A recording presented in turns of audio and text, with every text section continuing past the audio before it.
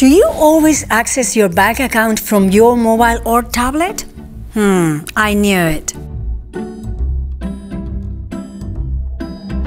Of course, it's much more comfortable. Just remember to be safe. Your bank will never ask you to click on a link or provide your credentials from outside their banking app. If you receive such requests in an email or a phone message, they're likely coming from cyber criminals. Make sure you ignore them and block them.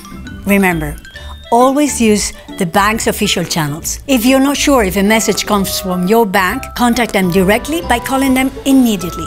Do not reply to the message. With my finances in order and my bank account secured against phishing, I can focus on my work.